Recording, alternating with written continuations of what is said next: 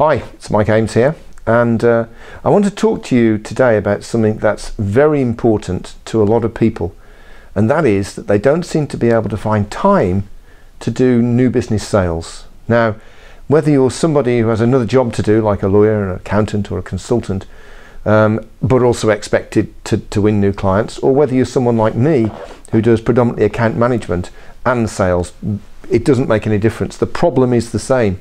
Don't seem to have enough time. But the cause of that problem, strangely enough, is also relatively common. And that is, we try and do blocks of new business sales.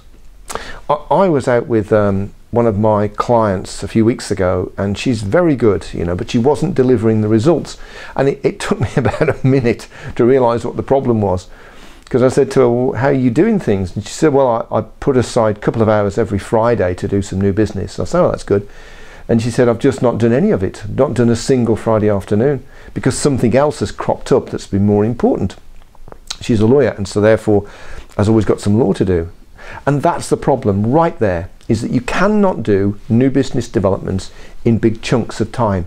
What you need to do is break it down into very small chunks, five and 10 minutes. That's the only way really that you'll get it done. The idea that you could even find an hour where you could just sit and make some telephone calls, it, it's, it sounds good, but it's just, it's just not realistic. So what you need to do then, if you're going to, to take this approach uh, of picking off a little bit of time here and a little bit of time there is to be very clear what it is that you can use that time on. Now, I use this method and have done for years. All my new clients have come from these sort of little bites of, of sales time. And the, the reason I can do that is that I'm very well organized in terms of my prospects and the next actions. In other words, the next contact that I'm going to make with my prospects is all documented on my CRM system. Now, um, there's a couple of things I want to say about this. First of all, the time when you make your new business calls or send your emails is crucial. I published a blog on this a, a, wee while ago and I put a little link underneath this video so that you can go and quickly read it. It's very short and it talks about hot sales times, the times when you're most likely to get through to somebody. that's well worth a read. I like to get all my new business done before nine o'clock in the morning.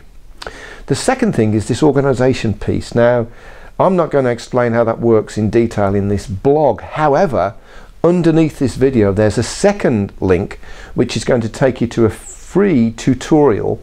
You have to register for it, but it's free, which will tell you exactly how to set up this approach, the one that I use. And it'll show you how to use Outlook tasks as a sort of a mini CRM system. Um, and it'll show you how, therefore how to always have some some sales tasks that you can actually get stuck into with your five and ten minutes. Now, the approach is very simple. You essentially have a big list of things that you need to do with people, uh, your prospects, stretching out into the future. What this system does is isolate know, between five and ten of those each week, puts them in a place where you can see them, a to-do list, um, and then gradually you just pick them off. So the way in which it works for me is I arrive early for a meeting, I'm in the car, I think, do you know what, I'll make a quick sales call. So I have a look, find something I can do, ring them up and do it. It's done. See, that's the secret. If I was going to put aside a block of time, it, it just would not happen, and it probably doesn't for you. So let me just summarize. What's important is that we don't look for big blocks of sales time when we're trying to win new clients. Just isn't going to work for us. What we do is we go for five or ten minutes, preferably before nine o'clock or after 5.30, but it doesn't have to be.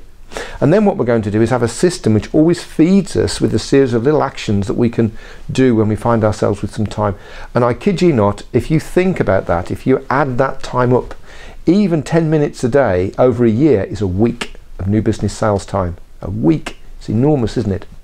Okay, so don't forget, uh, scan down, reread that blog about that, the best time to ring people, uh, and have a look at those tutorials. So it's all free and it's great stuff. So until next time, uh, good luck, good hunting, and as we say in Flair, if you want it, go and get it. You take care now.